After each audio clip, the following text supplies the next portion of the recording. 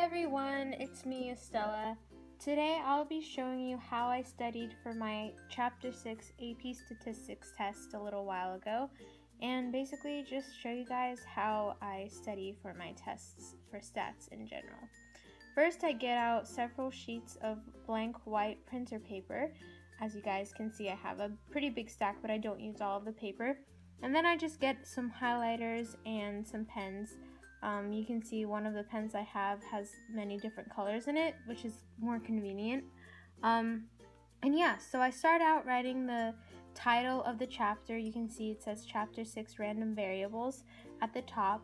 Um, and then also you can see it says Don't Forget Calculator. That's just like I have a little note section at the top just in case I need to remember anything really important. And then I start by writing out the different sections. So you can see like 6.1 discrete and continuous variables, and then I have other sections. And basically, how I was studying for this test was that I used two PowerPoints because the test was on 6.1 and 6.2. Um, just to study because I thought it would be more concise and faster than just reading the entire textbook. Um, so yeah, and then I just go on taking notes with different colors um, to you know help things stand out and highlight the most important things. I write in the formulas with different colors, and my colors vary um, depending on my mood. I guess I just really just randomly use different colors. I just use them to um, emphasize certain things so that I can easily they catch my attention when I'm looking back over my notes.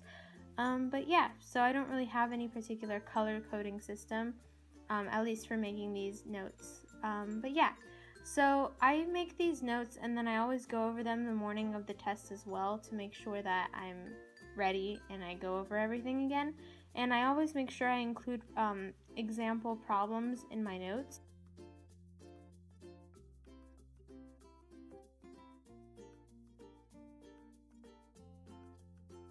This, these are what they look like final product, you can see I circled certain formulas and capitalized certain things, and then I drew some things as well, and then I just put in some sample problems from the PowerPoint and from the textbook, so some examples, and I highlighted all the vocabulary. And you guys can also see that I would use my highlighter to just write out um, headings for the different sections or different topics.